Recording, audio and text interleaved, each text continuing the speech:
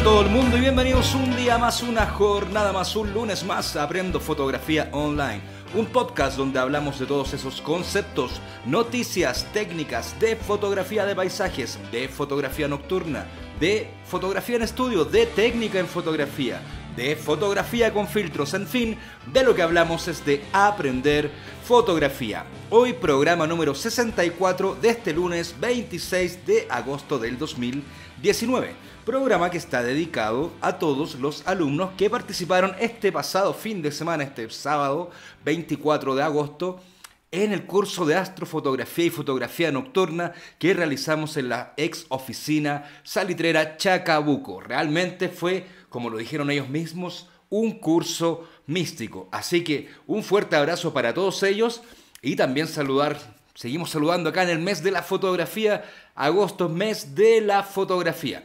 Bueno, después de esas palabras, hoy tenemos un programa muy, muy interesante, ya que tenemos a una invitada especial, que la ando persiguiendo desde el año pasado. Nos conocimos a través de Instagram y ya les voy a contar quién es esta amiga que realiza fotografía culinaria, llamémoslo así, estilismo culinario, fotografía de productos. Es mi amiga Nicorina, pero lo vamos a ver. Bueno, antes, como siempre, miguelnunesfotografía.com. Ingresa a nuestra escuela online que va a ser y ya está siendo el Netflix de los cursos de fotografía a solo 5 dólares mensuales. Además, tendrás acceso a la intranet, a la biblioteca virtual, a los replays de los webinars, ¿cierto? Y también si es que estás en los cursos presenciales o en los cursos en línea, tendrás un descuento. Así es que si quieres parte de la escuela, escríbeme cuando te quieras inscribir en un curso presencial. Y en el curso, el último curso que se lanzó fue el de Photobills y ya viene el curso de Time Lapse. Ahora, como te contaba, como siempre te voy a dejar los enlaces en la descripción del capítulo acá abajo, ¿cierto? Ahora, como te contaba, tenemos una gran invitada. Ella es una fotógrafa de Santiago, de Chile, ¿cierto? Y mejor vamos a la entrevista para que sepas quién es la gran Nicole Venegas. Vamos a la entrevista. Hola muchachos, ¿cómo están? Muy buenos días. Y aquí estamos con una nueva invitada espectacular. Teníamos mucho tiempo para invitarla, estaba ahí en el tintero, siempre me postergaba mi amiga Nicole desde el año pasado que estamos, y estamos con Nicole Venegas. No sé si ustedes la reconocen como Nicole Venegas, pero yo sí sé que la van a reconocer como la gran Nicorina, fotógrafo de food stealing, ¿cierto? Estilismo culinario, ella hace fotografías de comida, ha tenido un crecimiento realmente exponencial en Instagram, pero para saber más de ella, vamos a que ella misma nos explique quién es Nicole Venegas, la famosa, famosa, ultra famosa en Chile, Nicorina. Así es que bienvenida, Nicole, aquí al podcast. Espero que te sientas con mucho agrado y saber quién es la gran Nicorina, fotógrafa de alimentos, llamémoslo así, o de productos, no sé, ahí tú te puedes definir. Bienvenida, Nicole. Muchas gracias y disculpa por haberte postergado. no hay problema. Pánico escénico. no te preocupes, no te preocupes. Aquí estamos los dos nomás. No va a quedar aquí entre los dos nomás. Bueno, tan famosa no, pero trato un poco de destacarme en las redes sociales. Tengo Facebook medio abandonado, pero en el Instagram ha sido mi mayor plataforma de poder difundir lo que me gusta. Ya. Y me he dado cuenta, bueno, partí en 2017 eh, aprendiendo a distancia. No sabía que acá en Chile se enseñaba. Eh, después indagué y encontré que había lugares donde se enseñan, pero tampoco son como escuelas eh, dedicadas al 100% a esto. Claro. indagué que, por ejemplo, había una escuela de modelaje que se dedican como a fotos de retrato, estudios publicitarios, que hacía como un módulo de fotografía gastronómica pero que tampoco es cada mes, sino que era temporalmente una o dos, tres veces al año. Entonces, el 2017 partí online. De hecho, esas fueron como mis primeras eh, indagaciones en la fotografía gastronómica. Y bueno, el cuento es súper largo. No sé si es resumido o es más largo. No, yo creo que lo, importante es que la gente quiere conocerte, entonces igual quiere, eh, a ver, a muchos yo me he dado cuenta que les interesa saber cómo es la historia, cómo fue el camino para convertirse en lo que sabes hacer hoy. Por ejemplo, tú me explicas que partiste el 2017. Yo tengo la primera pregunta. ¿Partiste aprendiendo recién fotografía o recién empezaste a indagar el tema de la fotografía gastronómica? Em, mira, cámaras fotográficas siempre han estado como en la casa, mamá llena de álbumes, la fotografía análoga, pero yo no indagué en un curso de fotografía eh, manual en un centro comunitario de ah, dueñas de casa, yo te estoy hablando hace como 8 o 10 años atrás, y para mí cuando empezamos a hablar de la exposición, el diafragma, para mí era chino mandarín. Yo estuve presente en esa clase, pero ahí como que no, no me logré conectar y eso fue como la primera vez que yo aprendí un poco de fotografía manual.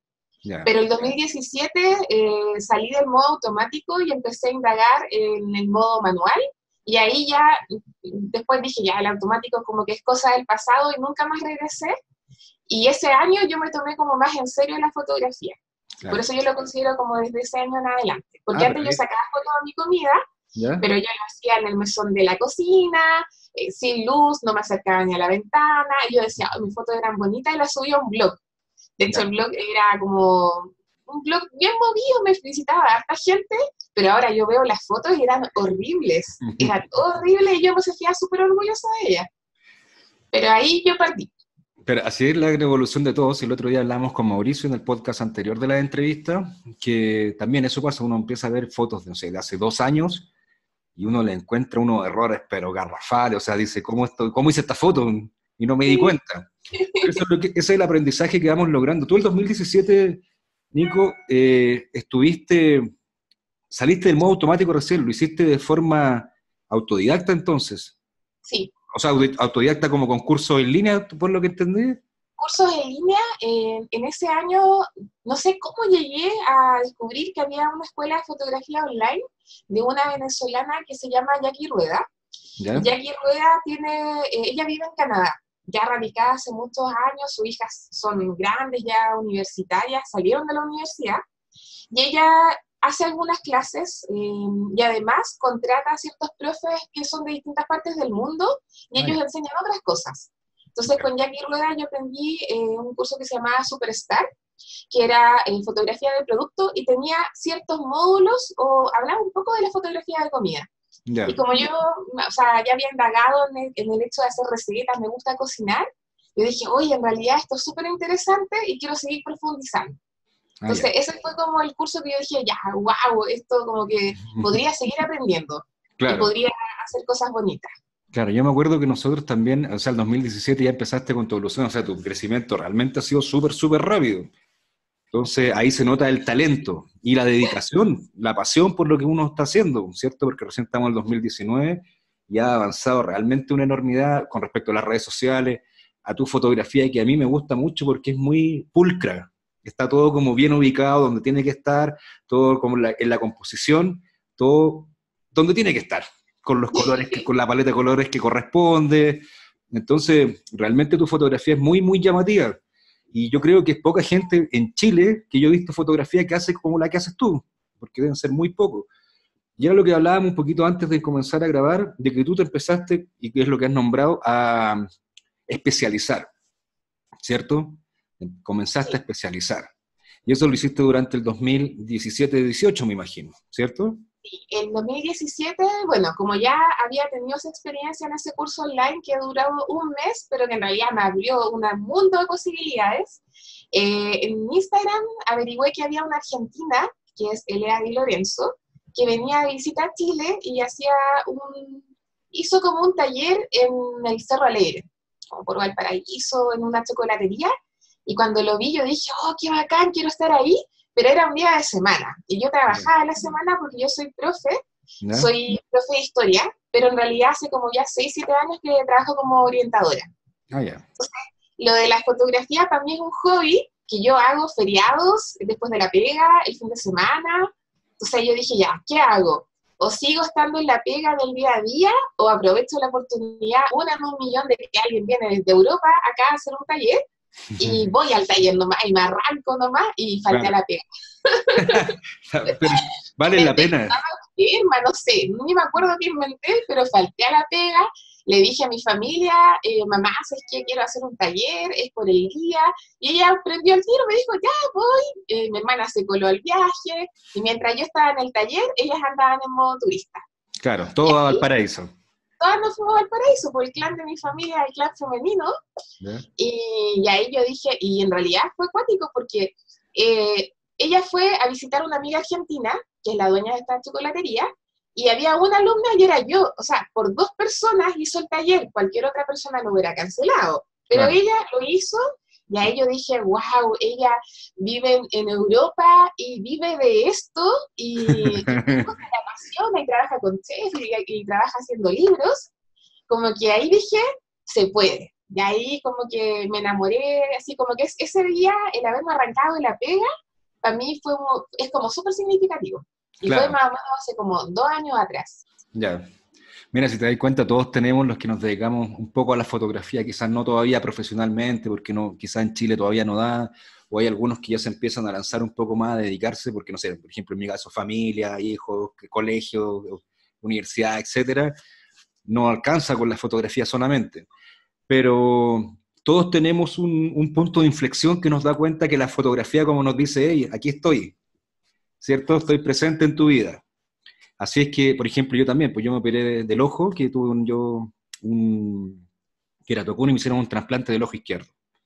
Y con eso como que regresé a la fotografía. Pero estuve dos meses encerrado, sin sol, sin luz, no, terrible fue esa etapa. Y ahí fue cuando empecé a hacer el tema yo de mis cursos.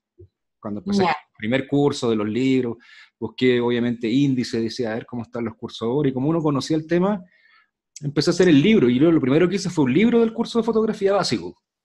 Y después de eso hice las, las, presentaciones, entonces ahí uno se da cuenta que siempre hay un, hay un punto de inflexión en la vida de uno que uno le dice, sí, aquí estoy, la fotografía como que te manda una señal. Sí, a mí me pasó eso, como que esto pasó, ponte tú, eh, a principios de octubre, que tuve esa experiencia en Valparaíso, y el 20 de octubre yo estaba, bueno, ya empecé a hacer más recetas para Instagram, empecé a practicar más. El 20 de octubre, como a las 11 y media, yo estaba cortando chocolate. Y en ese momento, bueno, agarré el, cuchillo peor, la base peor, inestable, y me corté. Me corté el meñique de mi mano derecha y yo siempre me corto en la cocina, me quemo haciendo panqueques, es como muy común que me accidente. Y de repente me miré y yo lloré, lloré, lloré, lloré, me miré y me veía como ya muy profundo el corte. Y ahí, bueno, me llevaron a la posta, bueno, a la clínica, urgencia, fin de semana mucha gente accidentada. Y ahí me atendieron como a las 3, 4 de la mañana y me decían como repliega el dedo me decían como, porque yo lo tenía súper estirado, y me decían como, fléctalo, fléctalo, y yo, no puedo, fléctalo, fléctalo, me llevaron como a un quirófano, y ahí me dijo, está cortada la wea, así. y la cuestión es que me corté el tendón.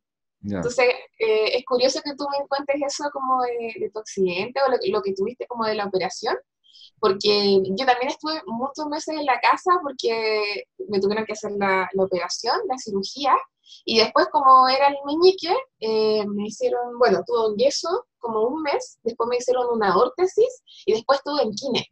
Y el kine más o menos desde noviembre, diciembre, enero, y en enero eh, me dieron el alta. Ah, ya.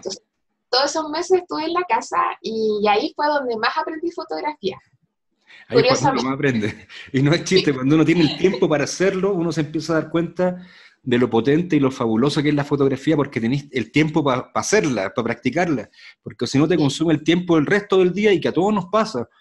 Pero si tú te das cuenta, igual después uno se empieza a hacer los, uno se empieza a hacer los tiempos. ¿Cierto? Que me imagino que tú decías que después de la pega tú podías estar haciendo fotos los fines de semana, los feriados y haciendo distintas cosas. Yo he visto mucho que tú haces mucho tema de tips, de comprar los props, ¿cierto? De las, cosas que utilizan ustedes en la fotografía que tú realizas y vais dando tips, que estáis, no sé, en el persa, no sé, me acuerdo que he visto en varios lados que estáis dando dónde comprar las cosas y los mejores consejos yo creo que ha sido súper bueno para la comunidad que te sigue a ti eh, todo ese tema de consejos. Sí, curiosamente, eh, yo nunca pensé que la gente, bueno, hay un público cautivo que tengo por el tema de las fotos, que le gusta las fotos, le gustan los tips, pero hay mucha gente que me sigue por los datos, por la oferta, los datos, el cachureo. no tiene nada que ver con las fotos. No, no, pero se complementa totalmente. Claro. Totalmente. Entonces, ese periodo que estuve en la casa me sirvió mucho. Bueno, el primer mes vi Netflix, me hice mucho, dormía mucho por el dolor. Y el segundo mes yo pensé, no podía estar no sé cuántos meses en la casa haciendo nada, puro durmiendo, tenéis que aprovechar el tiempo, tenéis que hacer algo, algo que te quiera. Y ahí es donde empecé a tomar cursos en Craftsy, en Skillshare, eh, después tomé en Creana, como que busqué todas las plataformas online y también empecé a averiguar dónde estaba la movida de la fotografía gastronómica, por así decirlo, dónde estaban como las escuelas online que yo podía tomar y ahí encontré que España estaba súper adelantado, que tenían hartos cursos online y ahí me agarré y empecé a tomar el curso. Sí, en realidad los chicos españoles en España hay, está muy, muy desarrollada la fotografía y ahí nosotros que somos de habla hispana sobre todo, encontramos casi de todo y a un nivel súper bueno y que enseñan mucho. Eso es una de las cosas buenas que tiene la gente en España, porque yo también sigo a mucha gente española por la misma porque es más fácil, porque hablan el mismo idioma y es fácil seguirlo. Y después, Nico, ¿cómo, cómo fue tu crecimiento en las redes sociales? Porque yo me acuerdo que cuando nos eh, empezamos a hablar nosotros el año pasado acerca de, de participar en el podcast que yo te había invitado, ¿cierto? Que me contabas que lo escuchabas. Eh, ahí tenía, no sé, como 6.000 seguidores por ahí, 7.000, y ahora tenéis no sé cuánto, a ver, lo voy a revisar el tema. 18.700 y tanto tienen que ser. O sea, he subido casi 12.000 seguidores en un año, mil seguidores mensuales. Sí. ¿Cierto?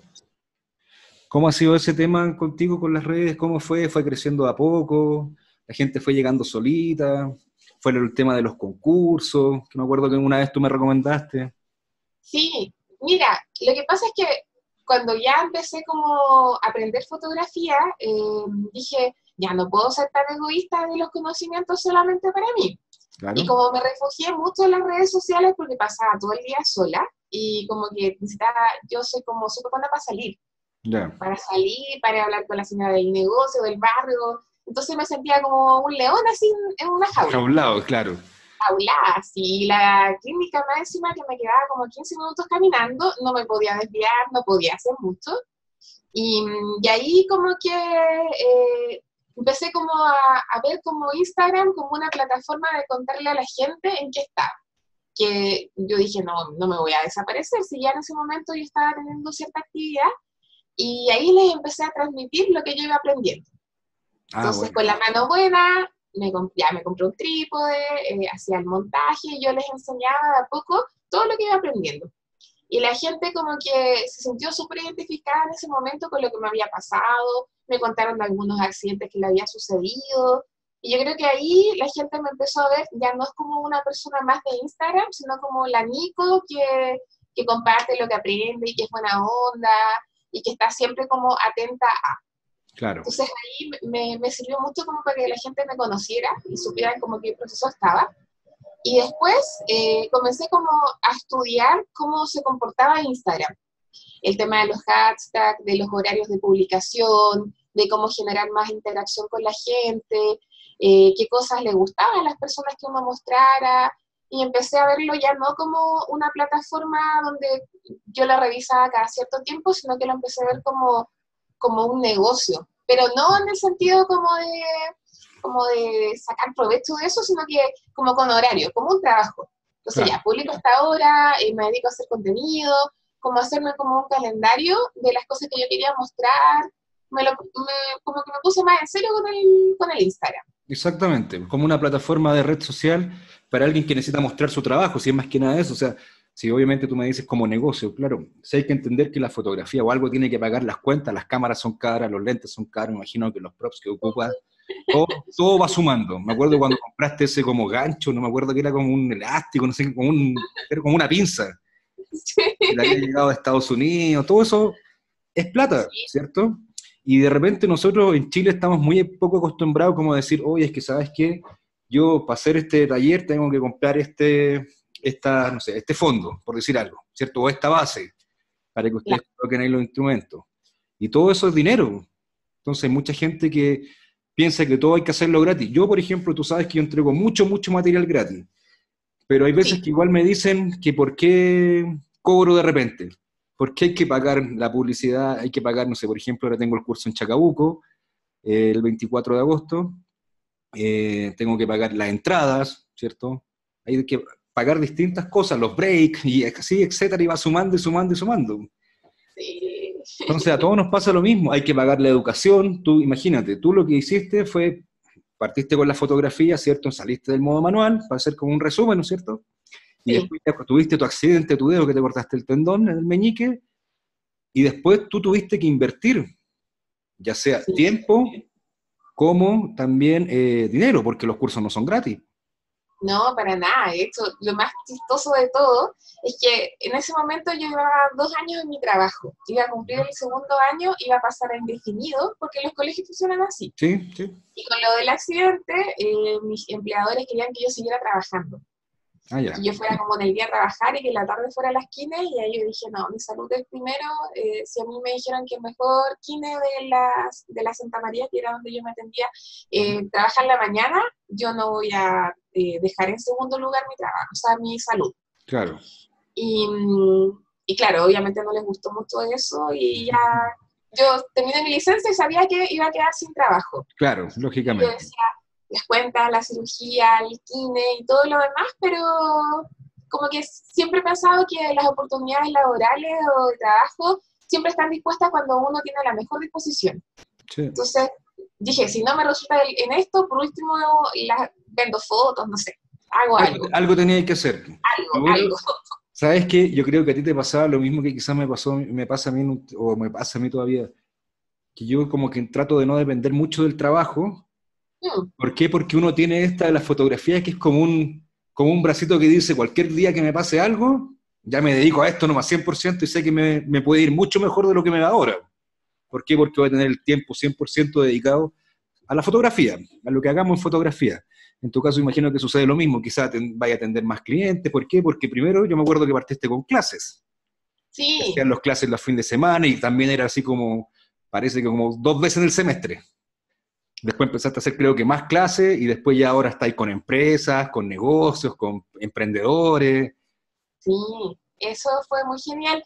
Igual al principio yo pensaba que, porque yo me, hasta el día de hoy yo siento que soy una intrusa de la fotografía, porque hay como, yo- bueno, esta es mi apreciación personal, siento que hay un sesgo o hay como una mirada de ciertos fotógrafos que ven a la gente que es amateur como que la ven en menos. ¿Ya? Entonces, a mí me pasó con algunos fotógrafos que no les gustó lo que yo estaba haciendo, o que les molestaba que yo compartiera cosas, o que cuando yo subía fotos, como que le molestaba el, el que yo creciera. Y yo les decía, bueno, pero como que así es el mercado, eh, Sí. si tú quieres hacer talleres, hazlos, eh, como que pueden haber muchas cosas en paralelo, hay mercado para todo. Exactamente. Si cada uno se dedica a su negocio al final. Si lo mismo que yo, por ejemplo, no voy a enojar con gente que es conocida amiga, que, lo- que no hemos compartido y todo, porque hace talleres también. No tiene nada, ninguna relación. Cada uno hace sus clases de distinta manera. Siempre hay algo que aprender con distintas personas, porque lo Uno hacemos de distintas formas. le da su sello especial. Exactamente. Entonces, cuando la gente me pregunta a mí de los colegas, yo le digo así como, mira, existen hartos cursos, uno puede aprender de mucha gente cosas distintas y, y tú tienes que ver qué es lo que te acomoda más para lo que, lo que tú estás buscando. Exactamente, uno también va viendo lo que, lo que le va trayendo, ¿cierto? Por eso, por Sí. ejemplo, yo me acuerdo que tú partiste con esos cursos y me imagino, porque es lo mismo que te digo yo, porque yo también me di cuenta que tu, tu crecimiento fue así, pero exponencial, fue, fue subiendo súper rápido. Entonces, yo creo que en todo el mundo, dicen que no, que aquí en Chile, que somos chaqueteros, etcétera, yo creo que todo el mundo, ¿cierto? A alguien que empieza a subir muy rápido, siempre tratan de tirarlo para abajo. Y tú puedes decir, eh, cuando uno se convierte en fotógrafo profesional, quizá alguien te decía, ah, no, es que tú eres amateur. Para mí tú no eres amateur. Porque pasaste ya esa etapa y esa etapa, ¿cómo la viviste haciéndola muy rápido nomás? Pero dedicándote todo el día a estudiar fotografía. Practicando, estudiando, practicando, estudiando, practicando, estudiando y dar a conocer. Y tú sabes que cuando uno hace talleres es la mejor forma de aprender. Es cuando a uno más se le quedan las cosas. No sé, a mí me pasa por lo menos, no sé si a ti te ha pasado también con tus talleres. Sí. Y los talleres es algo muy, muy genial. Nosotros partimos en abril del año pasado. Yo digo nosotros porque en realidad mis talleres son como un matrimonio. no, no sé si los podría hacer sola así como al mismo nivel, porque partí en, en- bueno, partí de esto porque una emprendedora con la que tenía relación el año pasado eh, me dijo, Nico, te encontré el lugar, eh, vamos, juntémonos, y si ella no me hubiera dicho, yo no sé si me habría atrevido a hacer los talleres, porque decía, no, es que me falta, es que no sé, es que no, que todavía me falta, como que me sentía que, que todavía necesitaba aprender mucho más, pero en realidad los conocimientos ya estaban. Claro, exactamente. Ahí te diste cuenta que sí los tenías. Sí, no. y después eh, lo empecé a hacer en el, en el, edificio donde vivo, en la sala como comunitaria, no sé, un salón la multiuso, algo así, claro. una cosa así, y, y, ahí nosotros hacíamos todo. Los coffee, nos preocupábamos como, me, buscamos auspiciadores también relacionados un poco al área de la comida, porque eso igual es bueno que en mi caso, como es de comida, eh, hay harta gente que le gusta tener esa vitrina de estar o en el coffee para que prueben sus productos, o de repente que la gente se lleva a su casa el producto para cocinar, o ya sea como un snack para comer, etc. Mira, volviendo a eso, ahora yo me acuerdo que siempre me llamó la atención, porque tú siempre estabas, ya, y hoy día estamos con la panadería de la esquina, no sé, con sus panes y tanto, y con el café de, no sé, ¿de dónde conoce tanta gente? ¿Le llegarán? ¿Ella lo buscará? Que yo creo que esos son los secretos que a la gente le interesa saber, ¿cierto? Porque a mí también me llamaba la atención porque de repente estaba, ya, y hoy día estamos con, con no sé, con la panadería, como decía, al otro día publicaba, y hoy día estamos con los pastelitos de mi amiga no sé cuánto de tal lado, obviamente con la etiqueta. Después el otro día estaba ahí con, no sé, con los sándwiches de, y yo decía, oye, la Nico, o los compra o se los pasan, o no sé cómo lo hará, o mucha que come rico, decía yo. Sí, la verdad es que al principio... al eh, principio, eso me gusta al principio, porque yo imagino que ahora ya llega la gente también y te dice, oye Nico, ¿sabes que quiero que le saquéis fotos a mis productos y bla, bla, bla? Y aquí están y juntemos en el local, no sé. Mira, al principio como yo ya...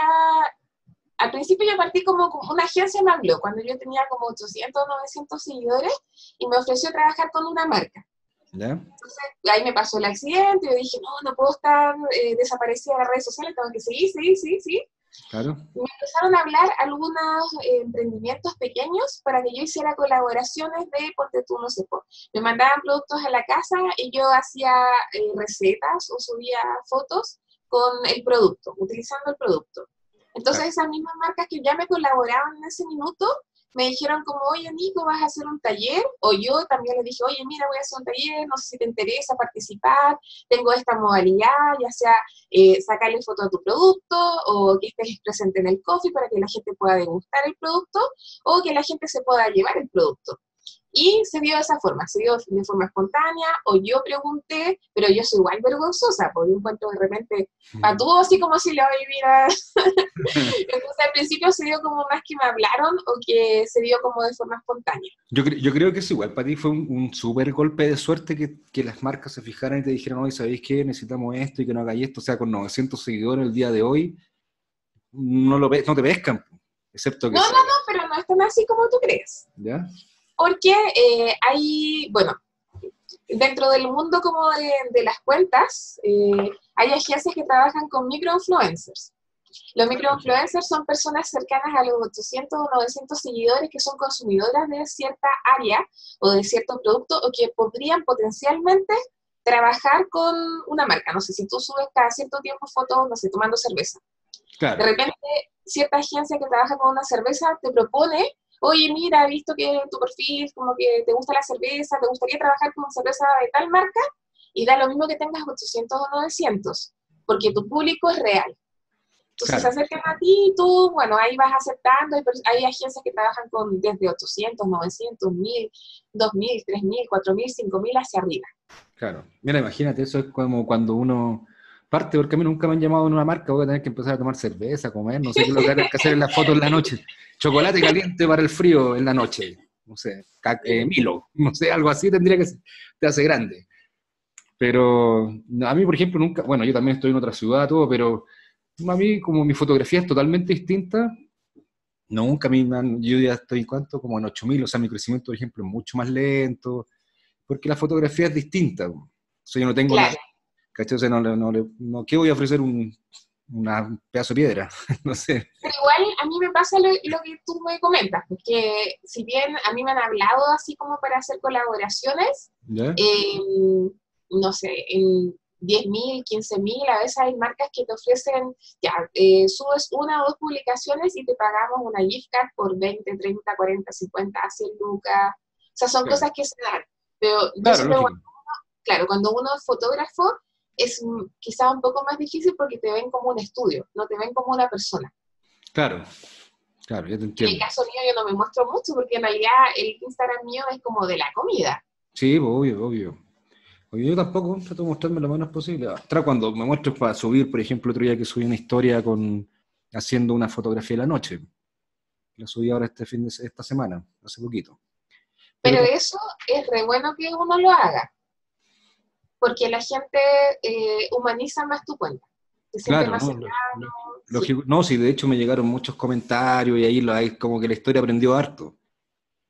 Yo creo que eso que tú recomendaste, por ejemplo, el tema de que la gente que se quiere dedicar mente a este tema, eh, hacer el estudio de cómo, cómo, eh, ¿cómo se dice esto? Lo que hiciste tú, el crecimiento, de cómo crecer en Instagram, que tomárselo en serio.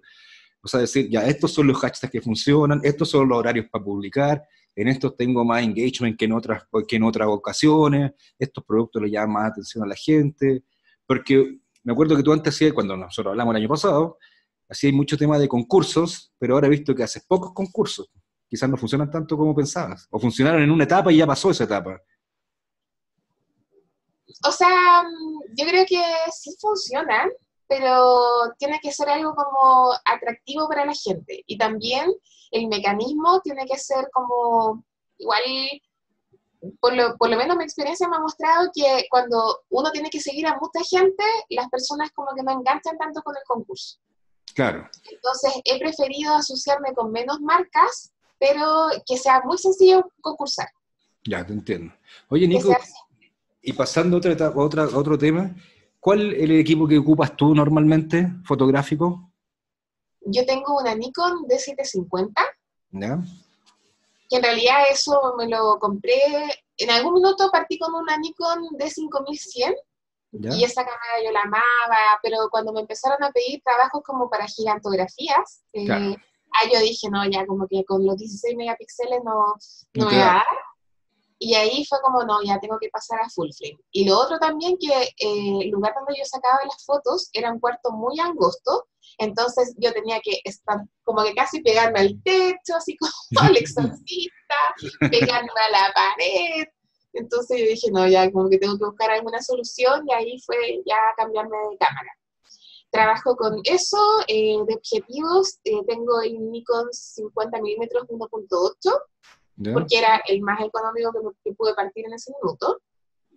El año pasado me compré un Nikon 105, el macro, macro ¿sí? y ese es el que más he usado y el que venía en el kit, que es el 24-120, si mal no estoy, que se lo ocupo muy de vez en cuando cuando salgo, cuando tengo que sacar fotos a un bar o algo y no me puedo mover tanto, eh, es como el tercer objetivo que uso, pero ya cuando no me quedan más opciones.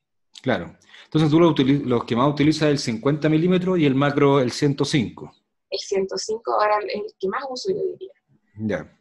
Sí, la calidad que estás sacando de fotografía, realmente, así como te digo, sí están muy, muy lindas tus fotos. ¿Trípodes? ¿Algún trípode en especial? Mira, tengo un Manfrotto, que es con el que partí. Em, no sé el modelo, pero es uno de los típicos que el bracito como que sale, y tal.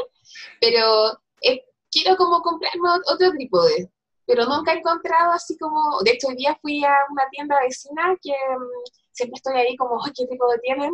Pero no he logrado llegar como al, al preciso. Claro, todavía no hay ninguno que te diga, este es el trípode. Sí, sí. estaba pensando en comprar un C-Stand y, usarlo como trípode principal, pero ya como que lo he dejado como para más adelante. Claro, no, claro que sí. Oye, qué bueno. El, después de eso, me acuerdo que tú también empezaste a indagar en otros tipos de fotografía. En un rato tenía otro porque tiene otro Instagram, que es el Nico Fotos, ¿o no? Sí, ahora le puse otro nombre provisorio, pero ah, me pasó que el, año pasado, eh, habrá sido hace uno o dos años aproximadamente, no, el año pasado, el 2018, en el mes de la fotografía, en la Fundación Telefónica hicieron muchas charlas de eh, fotografía como de paisajes, naturaleza, que es una escuela de fotografía para, para gente amateur. Y ahí yo dije, oh no, qué bueno, me encantaron las charlas, me eran gratis, así que me inscribí a las que más pude. Y después hice algunos cursos con ellos. Y ellos hacen salidas eh, fuera de Santiago, siempre tienen distintos cursos. Ah, qué bueno, qué bueno. Sí, me acuerdo que subiste algunas de nocturna por ahí. Sí, sí, sí, sí, sí. Y después eh, llegué como a otra escuela y ahí también aprendí flat. Y ah, ahí porque en, ese tipo de fotografía igual quiero seguir como eh, indagando porque ya eh, uno no puede estar 100% dependiendo de la luz natural, sobre todo ahora en invierno, claro. que ahora está diciendo un poco más tarde, pero de repente yo llegaba de la pega y era como, quiero sacar una foto y ya no, no podía. Ya no podía ya. Me imagino que utilizaba en un momento solamente luz natural. Sí, o sea, la gran mayoría de mis fotos son luz natural. Me compré después un kit de luz continua y ahí estuve haciendo algunos experimentos. Pero la verdad es que igual son como muy aparatosos, hay que tener como un espacio y, ¿Y reflectores. Eh, el 5 en 1, que lo tengo en distintas medidas, ese generalmente lo uso harto. Y, ¿qué tal? Ah, bueno, los plumaví, los cartón plumas. Cartón pluma ah, uso. Cartón pluma, claro. negro o blanco. Ya. Oye, ¿y no he pensado en luz continua en los Lume Cube?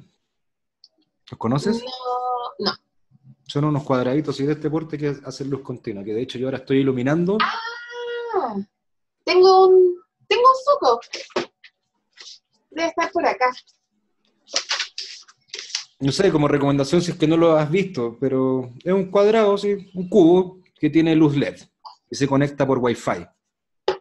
Claro, no sé si es el mismo. No, no, puede ser rectangular.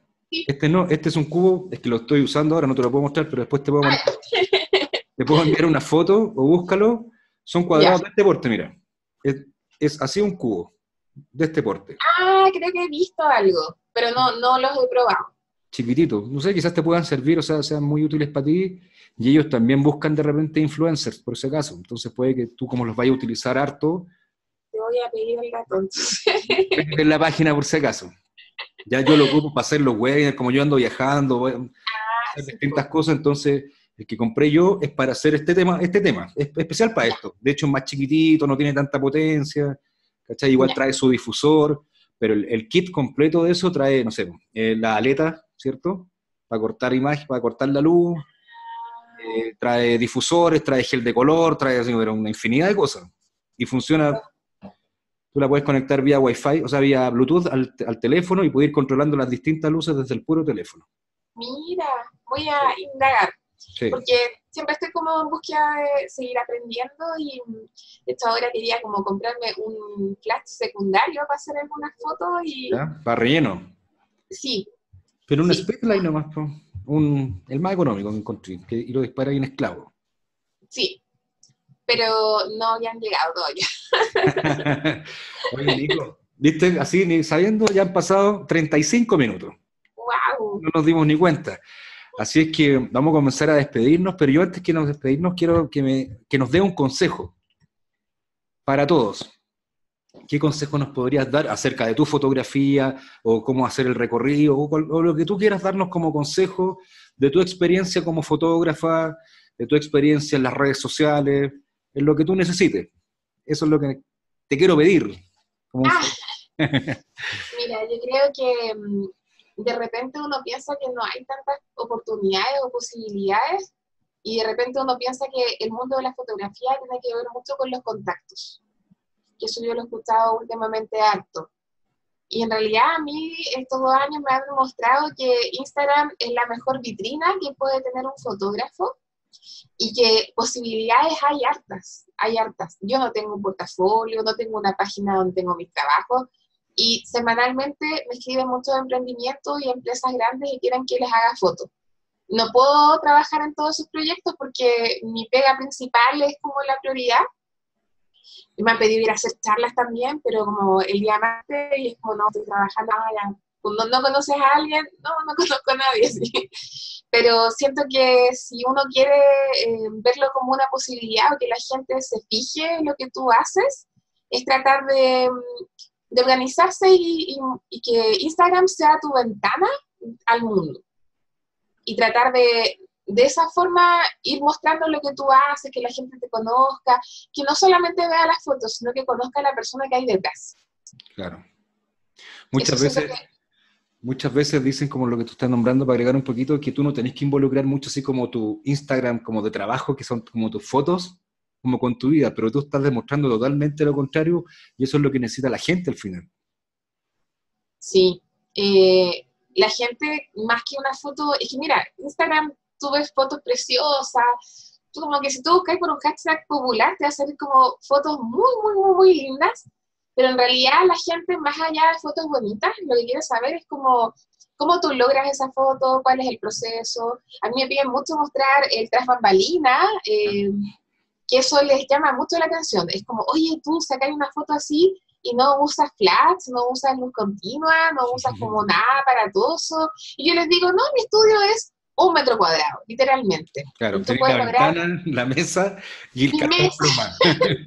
y el cartón pluma. Entonces, para lograr eh, como resultados bonitos y también que la gente sepa lo que tú haces, eh, uno tiene que tratar de seguir, seguir usando la herramienta de repente hay gente que, yo no sé si van todos queriendo aprender eh, lo que yo enseño en mis talleres, o si más allá me quieren como conocer como persona, porque es como, hoy la Nico, que es buena onda, es simpática, es como, siempre me dicen que les gusta mucho, que soy súper apasionada en la fotografía.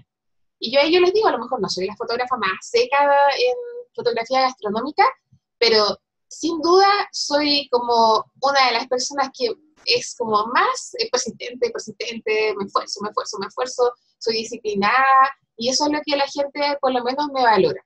Siempre que me dice como, tú en realidad te esforzas harto, lo así después del trabajo, ¿cómo lo así? Yo justo me trato de organizar. Mis publicaciones las hago cuando voy en el metro, me subo a la cuando ya estoy en la micro de conexión a mi pega, estoy subiendo el hashtag. Si me acaso de eso, me acaso a publicar. Entonces, al final es ser disciplinado. Y oportunidades laborales hay muchas, sobre todo en fotografía de productos y fotografía de comida, porque hoy en día hay mucha gente emprendiendo, eh, hay emprendimientos que tú de repente dices, oye, hay 10 personas, 20, 30, 40, 50 vendiendo pequeños o vendiendo arepas, y sí, pues, hay 40, 50, 60 emprendimientos y que necesitan un fotógrafo que sepa transmitir los valores de ese emprendimiento y no solamente sacar fotos a una comida y ya está. Claro, claro. Qué bueno. Hoy que fue entretenida esta entrevista, podría seguir hablando contigo mucho rato porque a mí me, me gustan mucho las fotos que tú haces. Yo nunca, o sea, la he realizado alguna vez cuando practicaba, cuando estudiaba, que me han pedido también, pero me gusta mucho, me gusta mucho esa fotografía. Así que apenas puedo ir a Santiago, ir a uno de tus talleres. Yo te invito si tú quieres. Todo cuando se pueda. Todo lo que hay que hacer para sacar las grandes fotos que tú sacas. No creo que llegue a tu nivel, pero no, yo creo que sí, que sí. Pero bueno, ahí uno puede seguir intercambiando cosas y lo bueno es que generalmente todo lo que yo encuentro como accesorio o blog lo estoy dejando en los Nicodatos. Si tú pones el hashtag Nicodatos con K, te va a salir todo mi recorrido y soy buena para vitrinear ofertas. Ah, bueno, eso es súper bueno que la gente sepa que tú dais muchos tips acerca de, lo, de, lo, de, lo, de las ofertas. Y sé que también tienes, para cerrar, que no me lo nombraste nunca, tu último emprendimiento. Yo pensaba que eso me lo iba a hacer.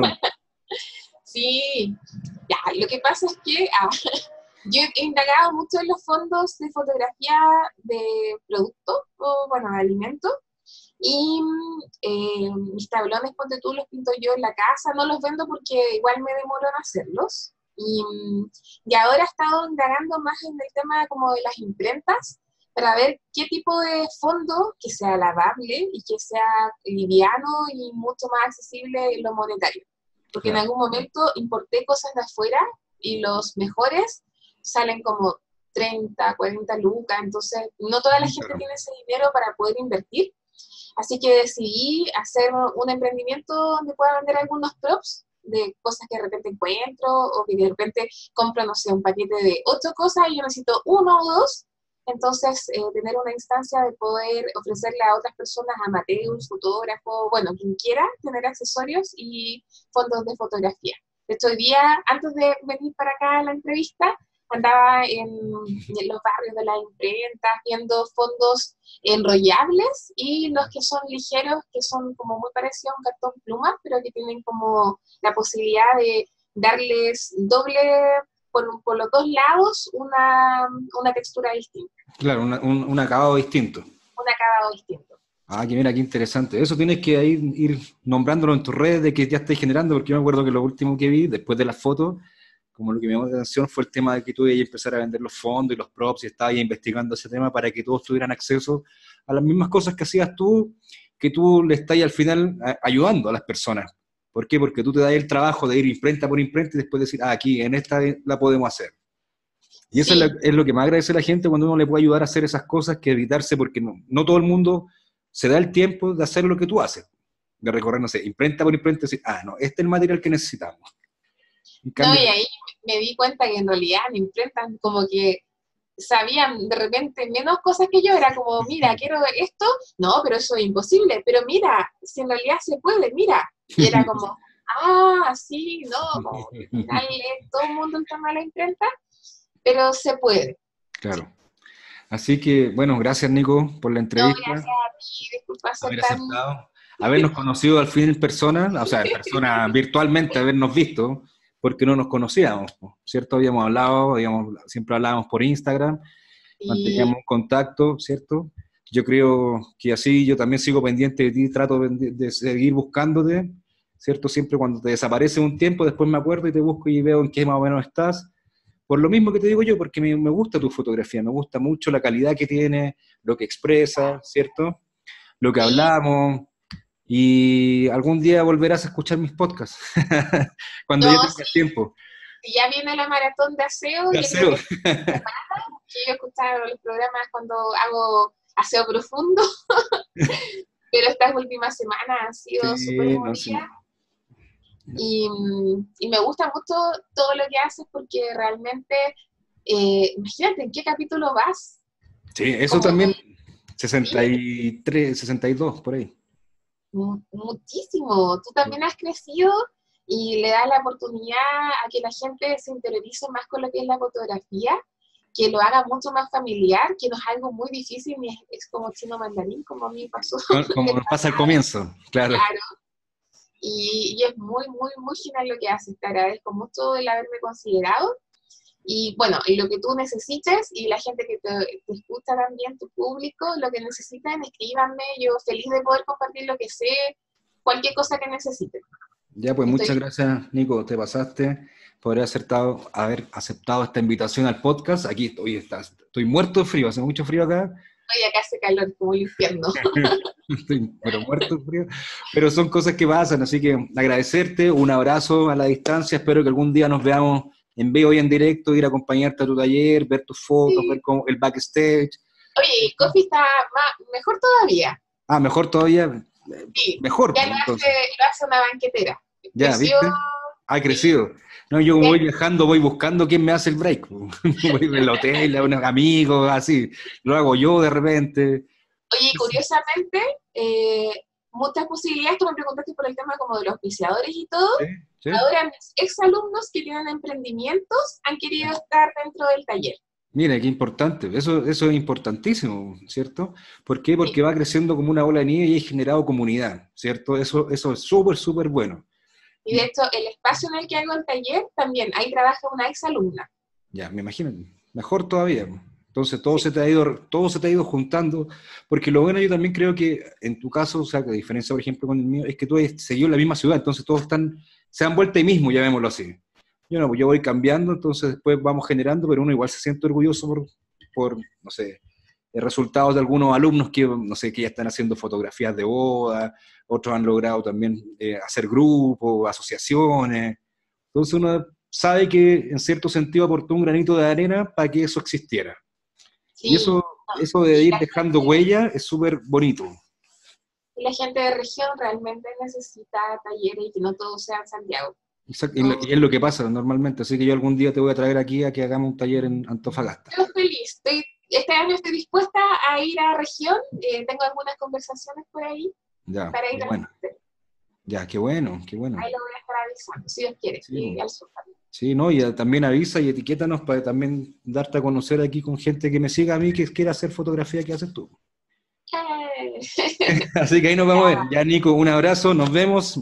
Despedimos en esta oportunidad y nos vemos la siguiente semana en el próximo podcast. Así es que ahora viene la despedida después de esto.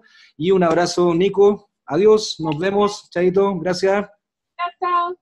Buenos amigos, y así llegamos al final de este podcast. Se nos alargó un poco, pero ¿por qué? Porque fue una conversación muy, muy entretenida con nuestra amiga Nicole Nicorina. Muchas gracias. Y como siempre decirles que cualquier consulta que tengan, contacto arroba Miguel Núñez fotografía.com. Si te gustó este podcast, no dudes en compartirlo.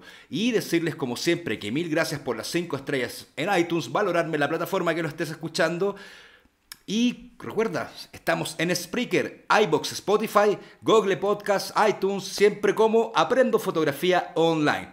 E inscríbete en la escuela que ya van a ir subiendo los precios para que no pierdas estas promociones. Y decirte como siempre que sin ti esto no sería lo que es. Simplemente no sería. Así que, estimado oyente, auditor, muchas gracias por escucharme, un fuerte abrazo, buenas luces, no dejes de hacer fotografía y nos vemos la siguiente semana en el próximo podcast. Muy buenos días.